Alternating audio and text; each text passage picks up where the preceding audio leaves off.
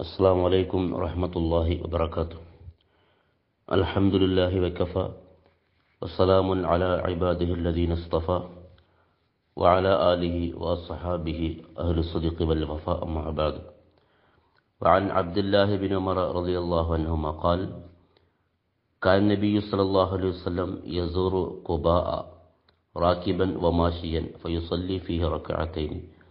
رواه البخاري. സഹാബി പ്രമുഖനായ അബ്ദുല്ലാഹിബിൻ ഉമർ റളിയല്ലാഹു അൻഹു റിപ്പോർട്ട് ചെയ്യുകയാണ്. കാൻ നബി സല്ലല്ലാഹു അലൈഹി വസല്ലം യസൂറു ഖുബാ. നബി സല്ലല്ലാഹു അലൈഹി വസല്ലമ തങ്ങൾ ഖുബ പള്ളി സന്ദർശിക്കുമായിരുന്നു.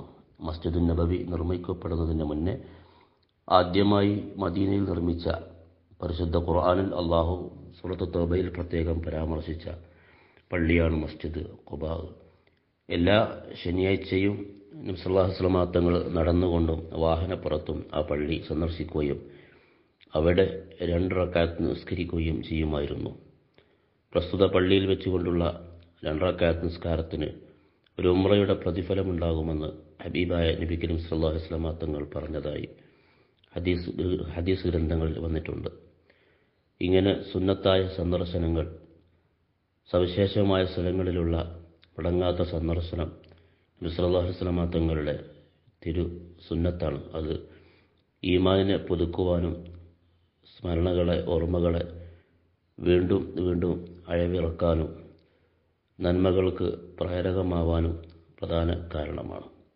അതുകൊണ്ട് നബി സല്ലല്ലാഹു അലൈഹി തങ്ങൾ മുടങ്ങാതെ എല്ലാ ശനിയാഴ്ചയും ഇവിടെ സന്ദർശിക്കുകയും മഹാന്മാരായ സഹാബത്ത് ഈ പ്രവൃത്തിയെ അനുധാവനം ചെയ്തുകൊണ്ട് അവരും ഈ പള്ളിയിൽ സന്ദർശിക്കുകയും ഇന്നും മദീന സന്ദർശിക്കുന്ന ആളുകൾ ആ പള്ളിയിൽ വന്ന് നിസ്കരിക്കുകയും ചെയ്യുന്നു. തക്കബലല്ല